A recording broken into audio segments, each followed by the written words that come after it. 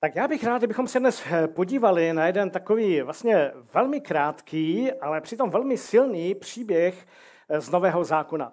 Eh, zdá se mi, nepočítal jsem to teda úplně přesně na, na, na slova nebo na písmenka, ale myslím si, že to je nejkratší, nejkratší příběh o tom, jak byl někdo pánem Ježíšem Kristem povolán do, do učednictví, do, do jeho, jeho služby. Eh, budeme číst o povolání jednoho z dvanácti eh, kristových apoštolů, eh, který vlastně má dvě jména. Na některých místech v Bibli a většinou tak ho i nazýváme, se jeho jméno formuluje jako Matouš, ale na některých místech v Bibli, víte, jak se jmenuje Matouš? Levi, výborně. Tomáš se podíval do mých poznámek. Matouš, eh, Matouš neboli Lévy. Pojďme si otevřít Lukáše pátou kapitolu a budeme eh, číst 27 až 28. Lukáš pátá kapitola, verše 27 až 28.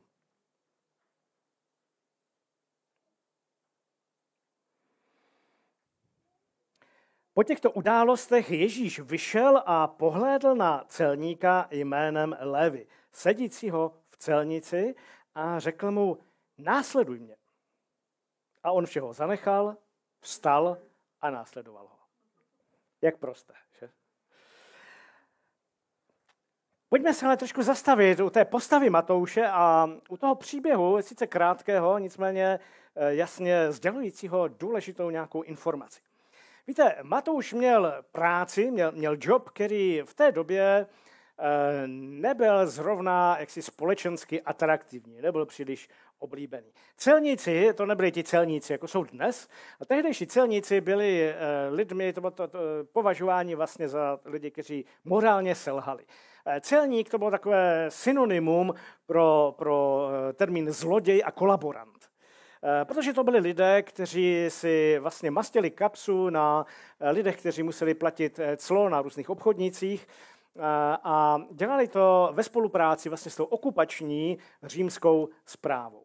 Takže to byla taková práce, kde rozhodně vám za to lidi nezatleskali. Za to to byl velmi jistý eh, způsob obživy.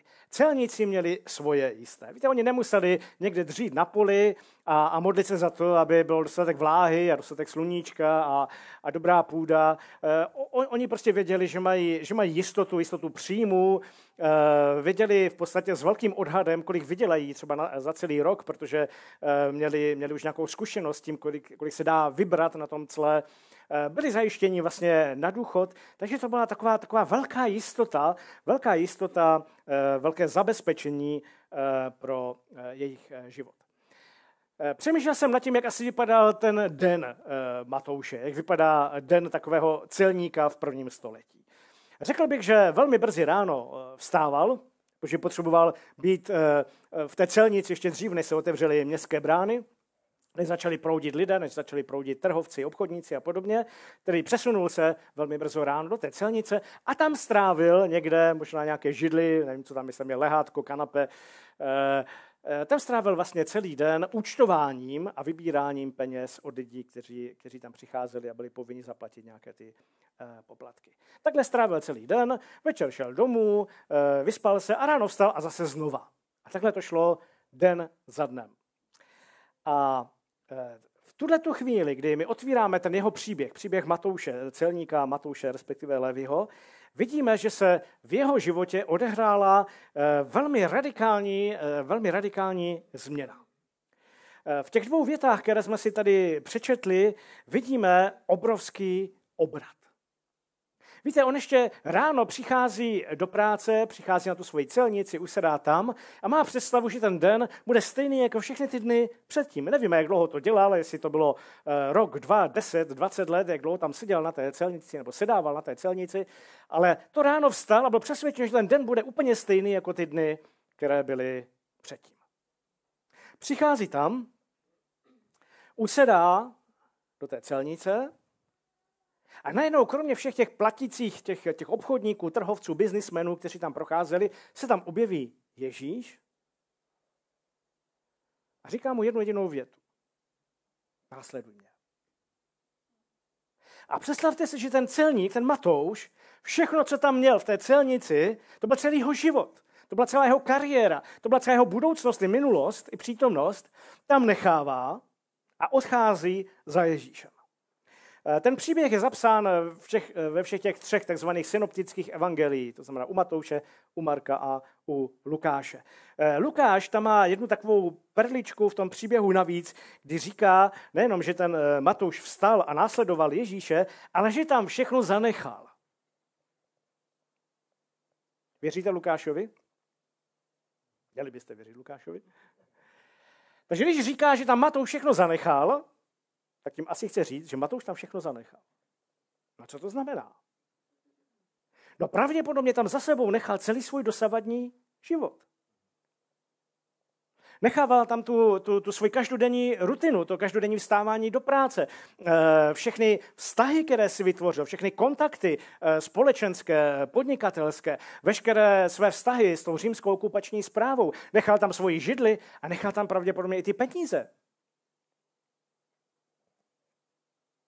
Všechno, co tam měl, celý svůj život, veškeré své jistoty, veškeré své návyky, veškerou svoji možná odbornost, kterou měl, eh, veškeré své představy, životní plány, nechává za sebou v té celnici a odchází za Ježíšem žít úplně jinak.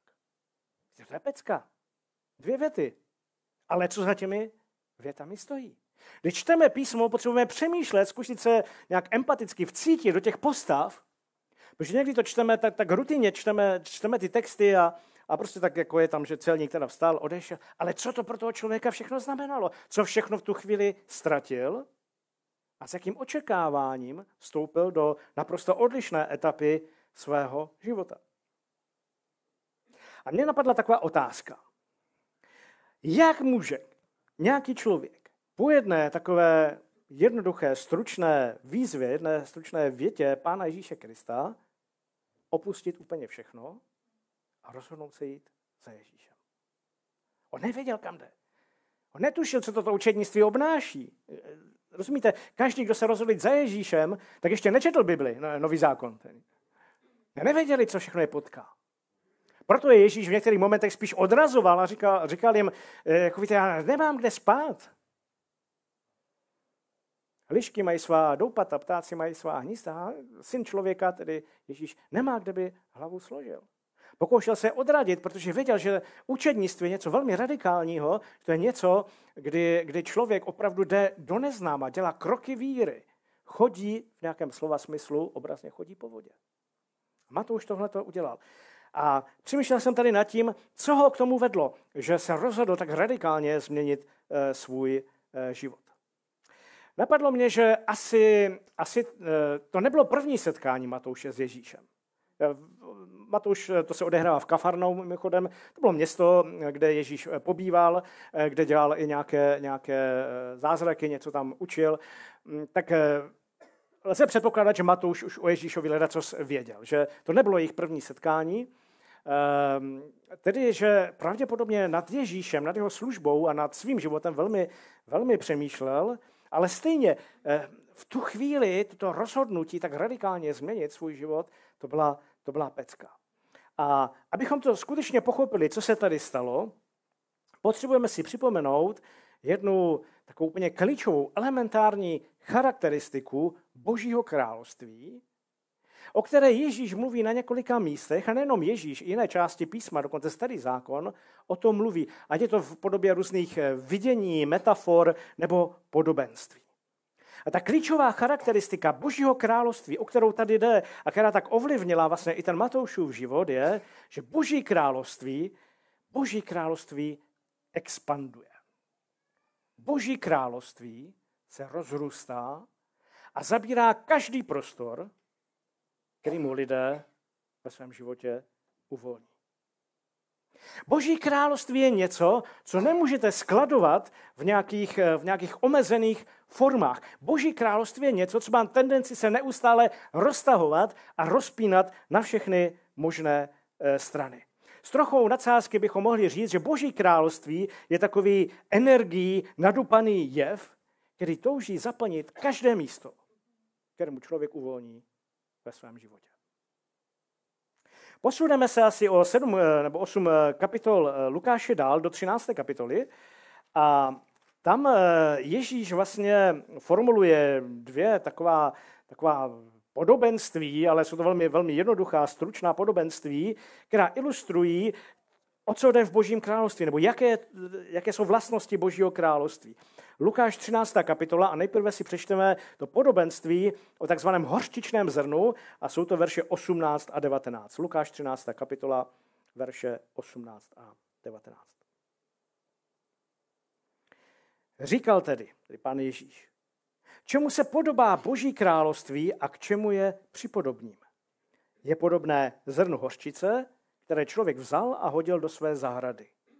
Vyrostlo, stalo se velikým stromem a v jeho větvích se uhnízdili nebeští ptáci. Zkuste si představit Boží království podle, podle tohoto Ježíšova podobenství. Na začátku je malé zrnko hořčice, které někdo hodí do své zahrady. Máte zahrádky? Někteří máte zahrádky. Zkuste vzít nějaké malé zrnko, hodit ho do té zahrady, schválně si ho pak ještě najdete někdy. Je to něco malého, co se ztratí. Ztratí se to v té trávě, ztratí se to v té zemině. Ale to, co tady říká Ježíš, to malé zrnko má potenciál expandovat. Má potenciál růst. A když bychom ho mohli pozorovat v nějakém eh, zrychleném filmu, tak bychom viděli, jak to semínko eh, vypouští nějaké ty kořínky, nějaký výhonek z toho jde a pořád je to strašně malé, pořád se to dá zaměnit někde s nějakou trávou okolo, ale postupně to roste, roste, eh, ty, ty, ty kořeny bují a Ježíš tady říká, nakonec z toho vyroste strom, v jehož větvích můžou hnízdit ptáci. Boží království. Něco, co je na začátku nepatrné, malé, přehlédnutelné, eh, snadno byste kolem toho prošli, ani byste si toho nevšimli, ale když dostane prostor, když ho někdo vloží do té úrodné půdy, té zahrady, tak z toho vyroste ohromná věc. Hned další podobenství je v dalších verších té 13. kapitoly. Přečteme si 20 až 21. Lukáš 13, 20 až 21. A opět řekl, k čemu připodobním Boží království? Je podobné kvasu, který žena vzala a skryla do tří měřic mouky, dokud to všechno neskvasilo. Mimochodem, eh, čistě teologicky je to velmi zajímavé podobenství, protože snad na všech ostatních místech v Biblii je kvas eh, něco negativního. Pouze v tomto podobenství je kvas, kvas, eh, kvas připodobněním Božího království, tedy, tedy svatých věcí. Což znamená, že nemůžete z Bible vzít nějaký pojem a myslet si, že ten pojem vždycky všude v Bibli znamená to tež. Ale tady pán Ježíš říká, že Boží království je připodobněné tomu kvasu, který žena zadělala do tří měřic mouky tak jsem se díval do nějakých uh, chytrých uh, knížek, kolik to je, ty tři měři, měřice mouky, a ono to dá skoro 40 litrů objemově. Takže poměrně, poměrně velký objem mouky, do kterého ta žena vloží kvas, nebo tenkrát šlo zřejmě o kus skvašeného těsta, vloží ho do té. A vy, kdo vaříte, pečete a tak dál, tak víte, že když to takhle uděláte, tak ze začátku se neděje vůbec nic.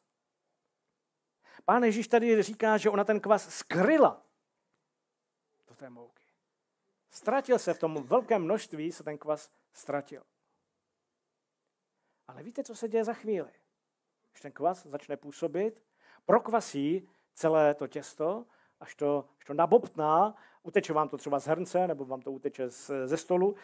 Eh, a zase je to připodobnění té expanzivnosti Božího království. Něco na začátku malého, když to vložíte na to správné místo, dáte mu ten správný prostor, aby se to mohlo rozšiřovat, tak to naplní celý ten prostor a ještě to má tendenci se protlačovat někam dál. Ve starém zákoně v knize proroka Daniela je takové, eh, eh, takový ten moment, kdy Daniel vykládá babylonskému králi Nebukadnezarovi ten, ten sen, který Nebukadnezar měl. Sen o jakési podivné soše, složené z různých hmot, ze zlata, stříbra, bronzu, hlíny, keramiky. A celé to podobenství, nebo celé, celá, celá ta vize, celé to vidění ústí do úplně stejné pravdy, o které tady dneska mluvíme. Můžeme si to z Daniela přečíst. Daniel 2. kapitola, verše 31 až 35. Daniel tam Nebukadnesarovi říká. Ty z králi hleděl a v tomhle jakási náramná socha. Byla ta socha veliká, vzhledu neobyčejného. Stála před tebou a její vzezření budilo úděs. Byla to socha mající hlavu z ryzího zlata, hruď a paže ze stříbra, břicho a boky bronzové, lítka železná, chodidla z části železná, z části keramická. Jak se zdíval, vylomil se bez rukou nějaký kámen a udeřil té soše do chodidel ze železa i keramiky a rozdrtil je. Tehdy se železo, keramika, bronz, stříbro i zlato naráz rozpadly a byly jako plevy v létě na mlatech. Tu je roznesl vítr a už pro ně nebylo místo. Avšak ten kámen, jenž udeřil do sochy, se stal velikou horou a zaplnil celou zemi. Prorocké slovo o božím království a o pánu Ježíši Kristu. Tak můžeme si představit tu ohromnou sochu, která, eh, když viděl ten Nebukadnesar v tom, v tom snu, tak se probudil spocený hrůzou. Ta socha ilustrovala veškerou moc tohoto světa. To nejdražší, co tento svět má, to nejpevnější, co tento svět má. To, co lidé obdivují, to, za čím lidé jdou. A on jenom viděl nějaký malý kámen, který se urval, ani nevěděl odkud, a způsobil, že úplně rozdrtil celou tu sochu. Máme tam napsáno, že to železo, eh, stříbro, zlato, bronz se staly jako kdyby plevami. Nedávno jsem mluvil o obilných plevách. To je takové nic. Lehčí než papír. Když to, to foukne vítr, nebo když to sfouknete zlaně, vyletí to do vzduchu a budete čekat 10 minut, než vám to spadne na zem, protože to nemá žádnou, žádnou váhu. To všechno se stalo z té ohromné, zlaté, stříbrné, bronzové, železné sochy. A ten kámen, který to způsobil, je tady napsáno, že se stal velikou horou a zaplnil celou zemi. Opět je tady nějaká expanze Božího království, Boží slávy, Boží moci, přítomnosti Pána Ježíše Krista na zemi. Ježíš, jeho království zaplňuje celý svět. A když čteme nějaké historické knihy o, o vývoji církve, eh, když se dočtete někde něco o tom, jak církev vypadala v těch prvních stoletích, tak víte, že, že přesně to se dělo. Přesně to se dělo v církvi, to se dělo v tom tehdejším římském antickém eh, světě. Jeden z takových nejznámějších eh, z církevních otců a apologetů, Tertulianus, který žil, který žil na přelomu 2. a 3. století, ve svém stěžením klíčovém díle eh, apologetiku, tedy obraně víry, napsal. Psal to pohanům, psal to té, té římské zprávě a občanům římské říše. Jsme tu od včerejška a je nás už plný svět. Jsme všude. Ve městech, na ostrovech, v pevnostech, na venkově, na tržištích, ve vojenských táborech, dekuriích, v císařském paláci, v senátě, na náměstích. A vám, to píše těm pohanům, ponecháváme jenom ty vaše chrámy. Boží království. Jsme tady teprve od včerejška a už jsme zaplnili svět.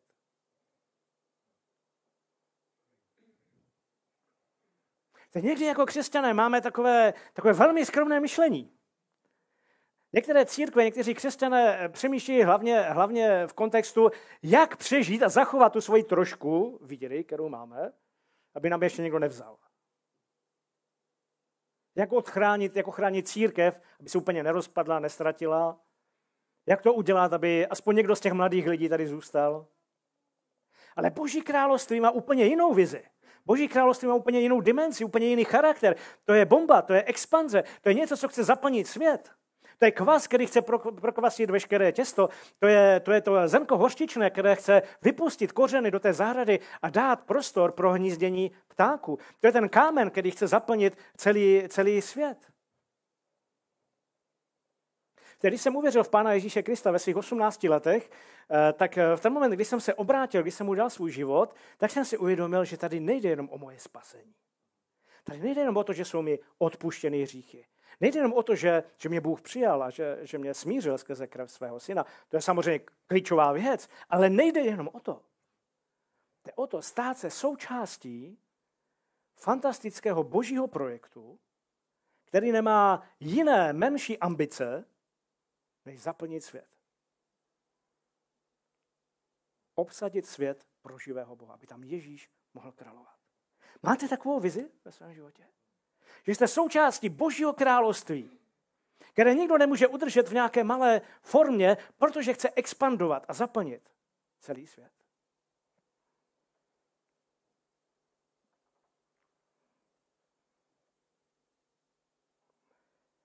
A když vidíme tu změnu, která se stala v životě celníka Matouše, respektive Levího, tak když budeme číst tu pátou kapitolu e, dál, tak se tam dočteme, že vlastně to, co se stalo v Matoušově životě, je právě to, o čem tady dneska celou dobu hovořím.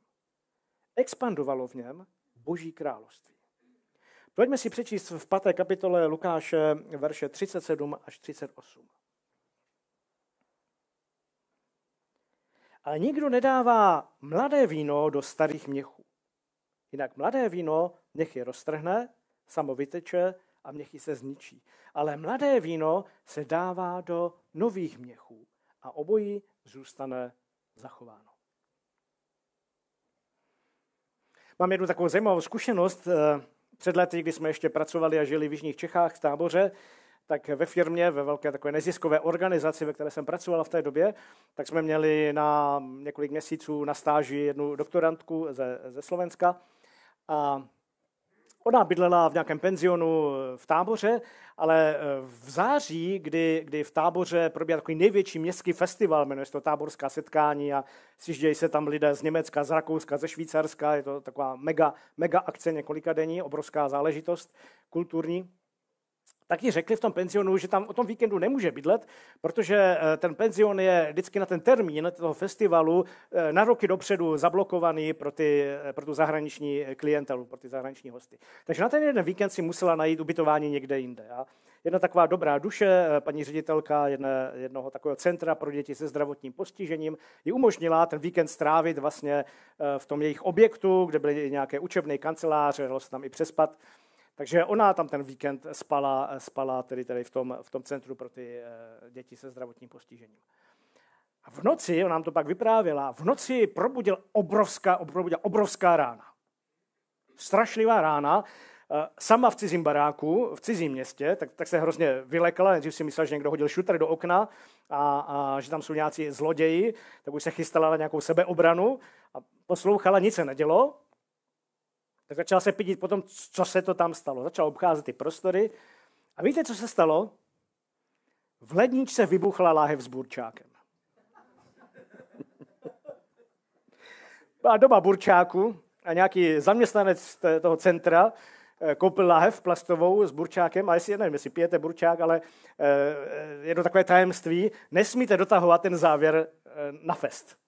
Jo, musíte ho nechat povolený, oni jsou i takové speciální závěry na to, aby mohl utíkat ten plyn, který se eh, vevnitř eh, vyvíjí. No a to někdo to nepochopil a prostě na fest zatáhl eh, ten, ten klobouček toho, té pedláhve, dal to do ledničky a v noci ta láhev vybuchla. A zničila všechno teda v té lednice, pak to vyteklo prostě všude možně kolem, takže kolegyně měla až do rána o zábavu postaráno s uklízením. Ale to je ilustrace, kterou pán Ježíš používá pro boží království tady v Lukášovi v páté kapitole. To mladé víno nemůžete dát do starých měchů, protože staré měchy tím pnutím prasknou a všecko se to vyleje a zničí. I ten měch se zničí, i to víno se vylije nadarmo. Pán Ježíš tady říká, potřebujete to mladé víno dát do nových měchů, které jsou flexibilní, které jsou pružné, které umožní to rozpínání a dokáží udržet to víno na tom správném místě, protože mají, mají nějakou vůli, nějakou, eh, nějakou, nějakou flexibilitu. To je další z těch ilustrací expanzivnosti Božího království. A to je vysvětlení toho Matoušova jednání. Víte, já si to představuju tak, že Matouš eh, možná dny, možná týdny přemýšlel nad tím, kdo to Ježíš je. Možná zvažoval jeho výroky, které už předtím slyšel. Možná přemýšlel nad zázraky, kterých byl svědek. A to ráno šel do té své celnice zase s hlavou plnou nejenom toho, kolik vydělá peněz, ale toho, kdo to ten Ježíš je a co by se mělo stát v jeho životě, aby žil správně. A najednou přichází Ježíš s tím povoláním, pojď za mnou, následuj mě. A Matouš si v tu chvíli uvědomí, že jestli chce získat něco úžasného, něco fantastického, co je daleko větší než jeho celnice, co je daleko větší než všechny jeho výdělky, co je daleko lepší než jeho budoucí důchodové zajištění, tak musí opustit ten svůj starý měch, tu svoji celnici, ty svoje zvyky, ty stereotypy, ten každodenní rutinní život, který žil. A dát prostor Božímu království.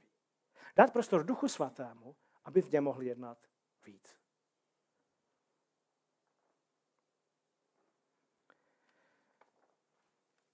Matouš se musel ale popasovat s jedním takovým eh, sklonem, který máme, myslím si, že v podstatě všichni, nebo určitě naprosto většina z nás, o kterém pán Ježíš mluví v posledním verši eh, té páté kapitoly Lukáše.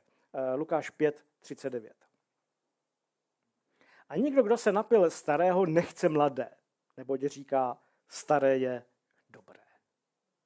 Tak o víně to platí. Jo?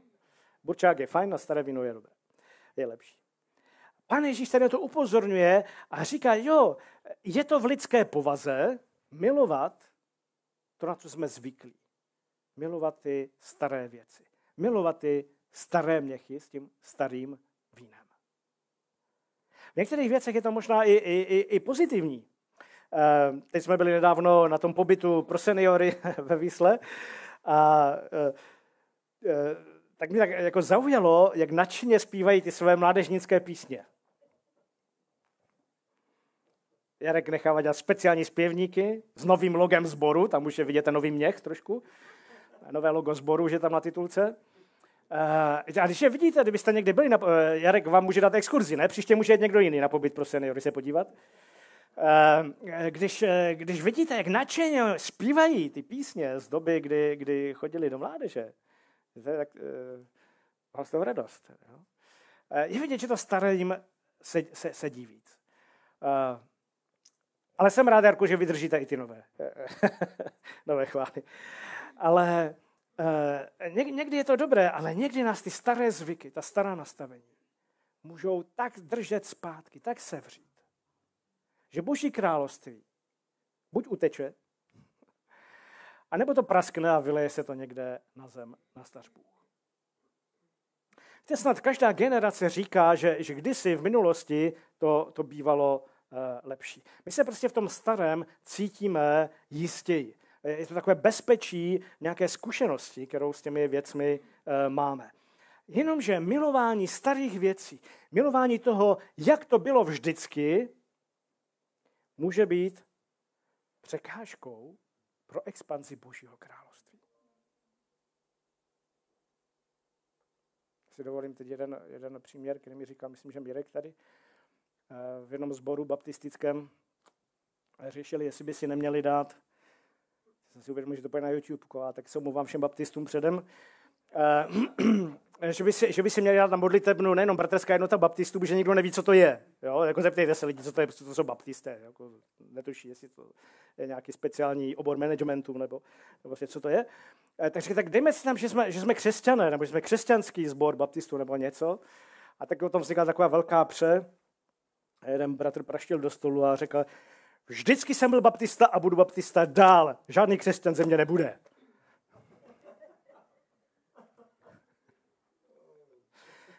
Nevím, jestli to byla pravdivá story, ale nebudeme říkat lokalizaci. Víte, někdy jsme tak zvyklí na nějaké staré věci, že nám nedochází, že ty věci můžou bránit Duchu Svatému, aby udělal něco mnohem lepšího a většího.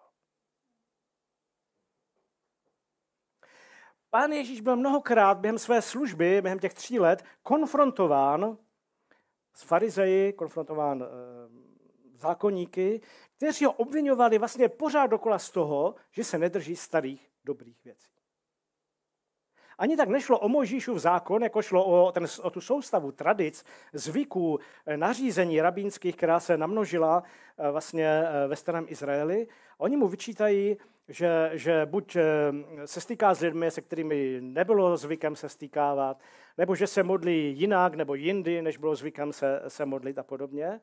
Lpěli na těch starých věcech a tak se bránili těm novým, tomu mladému novému vínu, které přišlo s pánem Ježíšem, že minuli Mesiáše.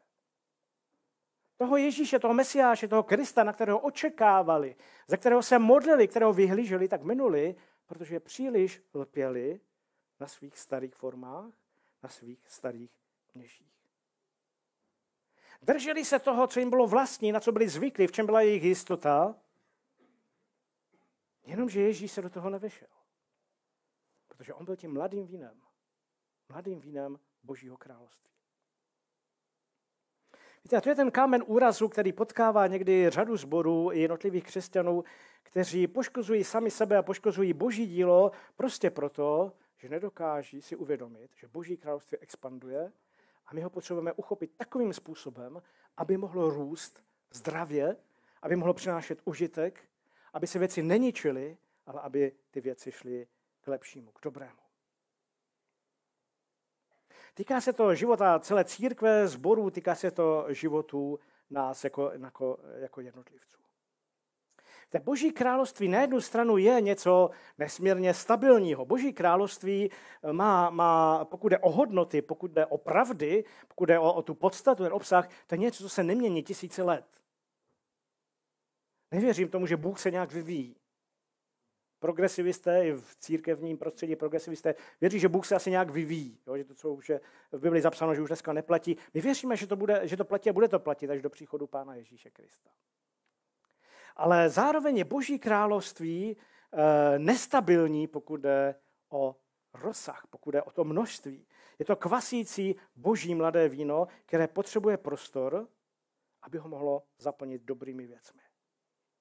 A my se musíme učit vytvářet v našich životech i v našich službách, ve skupinkách, které vedete, ve službách, které vedete, vytvářet ty, ty, ty, ty, ty, ty mladé nové měchy, schopné pojmout to rostoucí boží, boží království.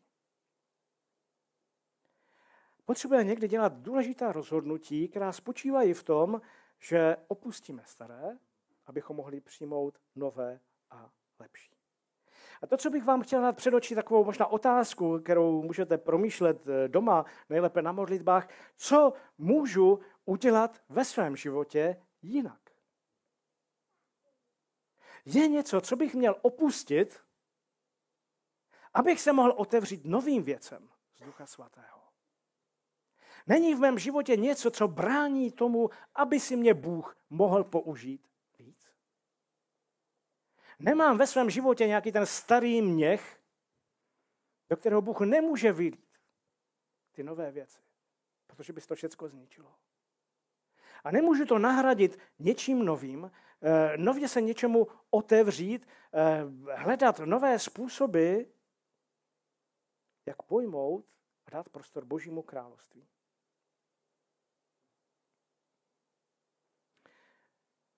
My tady teď představujeme třeba tu modlitebnu naší. Eh, částečně to děláme i proto, aby byla hezčí, ale hlavně to děláme proto, aby mohla pojmout víc mladého vína. To je ten důvod, proč investujeme spoustu peněz, eh, spoustu času tady do, do, do rozšířování těch prostor. Protože máme nějakou vizi, že chceme expandovat tady do toho prostoru kolem nás. Nechceme být jenom budovou, kam možná jednou za uherský rok někdo náhodou, když dostane hodně boží milosti, tak trefí. Ale chceme být prostorem, který expanduje a zasahuje do životu lidí. Chceme být nástroji novými měchy pro mladé víno Božího království. René, který na začátku mluvil o humanitární pomoci, která je tady o podlaží níž pod náma,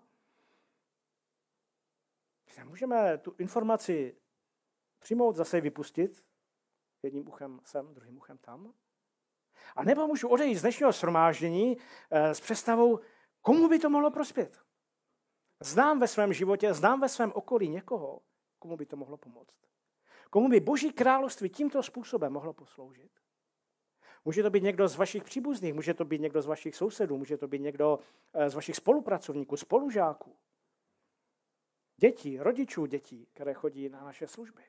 Přemýšlejme nad tím, jak ty věci můžou se stát novým měchem pro to víno, které tam teď máme, aby se to dostalo k lidem současně s nějakým božím požehnáním, které s tím je spojeno. Chci vás pozbudit, aby jsme každý hledali, a taky na staršostvu o to usilujeme, abychom hledali způsoby, jak vstoupit do nových věcí. A dovolit Duchu Svatému dělat nové věci, které ještě zatím nedělal. Jak vytvořit z nás všech ten, ten nový měch, do kterého může Bůh vylít to nové mladé víno. A ještě jedna věc na závěr toho povídání, ještě jeden takový detail toho příběhu o Matoušově eh, rozhodnutí jít za Ježíšem a zahodit ten, ten starý měch svojí celnice a, a vstoupit do těch nových věcí. Eh, pátá kapitola Lukáše, 29. verš. Lukáš 5, 29. Levi, tedy ten Matouš, mu připravil ve svém domě velikou hostinu, tedy pánu Ježíši. Byl tam veliký zástup celníků i jiných, kteří s nimi byli u stolu. Víte, někdy, když opouštíme ty staré věci, když eh, nám to dojde, že, že něčím blokujeme eh, boží působení ve svém životě, tak nás to bolí. Je s tím spojená nějaká, nějaký strach, nějaká obava, nějaká úzkost. Víte, mě to někdy, někdy mě to mrzí, když někdy mluvím s některými lidmi, třeba i, i služebníky v církvích, a když s nimi mluvíte o tom, co by Bůh mohl dělat, eh, tak oni vidí spíš, proč to dělat nejde.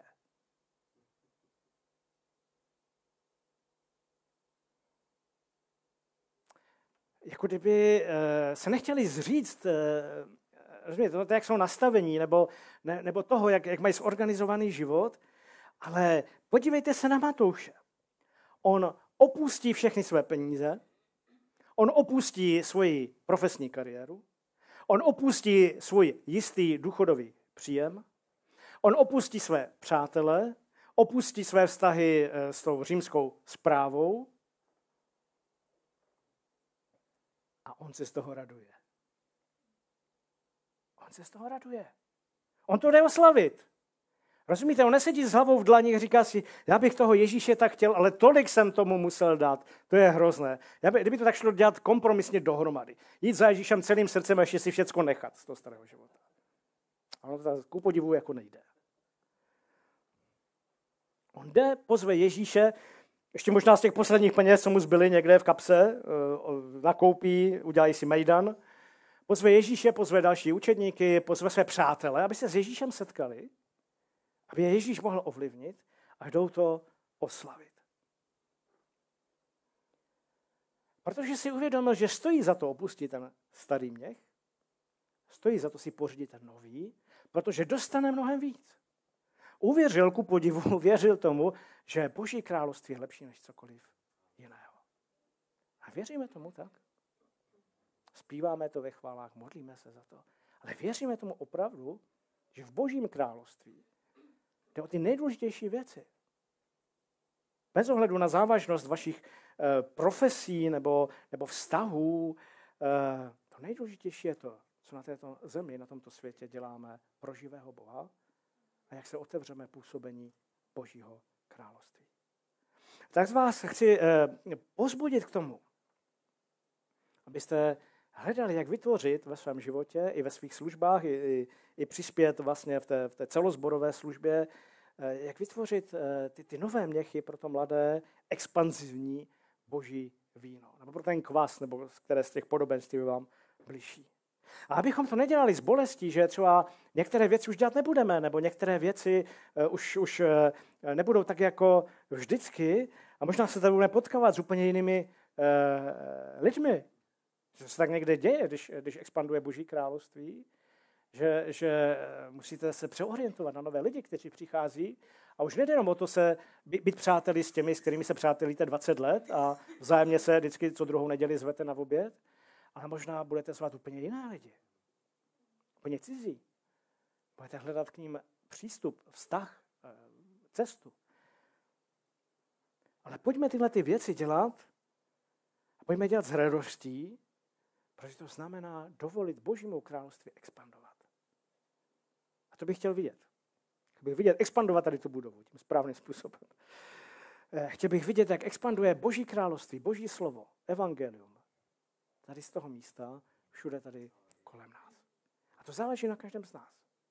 Jestli zůstaneme uzavřeni v těch starých měších, do kterých Bůh nemůže vylít to víno, protože by nás tím úplně zničil, anebo se otevřeme a řekneme, jako Matouš, pane, jdu do toho.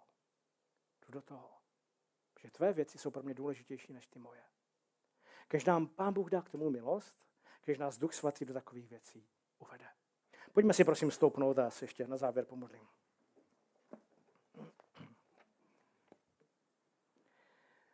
Pane Bože, my ti děkujeme za to, že jsme součástí něčeho tak úžasného, jako je tvé rostoucí království. Že tady nejsme jenom jako udržovatele, pane, ale jsme součástí té expanze slávy, pravdy, lásky a moci Boží do tohoto světa. Pane, odpust nám, kdykoliv jsme příliš ponořeni do těch svých starých měchů, pane, pro které si nedokážeme představit nějakou změnu, nějaké nové věci. Pane, prosíme tě za to, aby si do nás mohl vylít to mladé víno, pane. Bez toho, že by nám to uškodilo, pane. Ale aby to skrze nás mohlo působit, aby to mohlo rozrůst. Pane, prosíme tě zavíc toho tvého mladého vína do našich životů. Prosíme tě zavíc toho mladého vína do života této církve, pane. Prosíme tě, Bože, za to, aby mohlo tady mezi námi kvasit a rozrůstat se, aby přinášelo pravdu o tobě, o tvé slávě do životu těch lidí, kteří žijí tady kolem nás a kteří tě ještě neznají. Pane Ježíši, cokoliv v našich životech je příliš strouchnivělého, pane, spuchřelého, neschopného absorbovat, pane, tvoji slávu, prosíme tě, aby si to dal pryč. Jestli, jestli je to na nás, pane, tak nám ukáž, co to je, ať to můžeme odložit. A prosíme tě za to, abychom mohli přijmout ty nové formy, pane, které přinesou oslavu tvému jménu a spasení novým duším. Pane, děkujeme ti za Matouše, pane, že, že to dal, pane. Že to dal, pane, že jsi dokázal zříct té, té své staré celnice, svých starých zvyků a, a jistot a rozhodl se jít za tebou a že jsi mu požehnal, pane. Že jsi se skrze něj oslavil. Děkujeme tě za Matouše, za jeho víru, pane. A prosíme tě, je pro nás příkladem k následování, je pro nás vzorem, pane, v naší službě tobě. Dej nám tomu milost. Amen.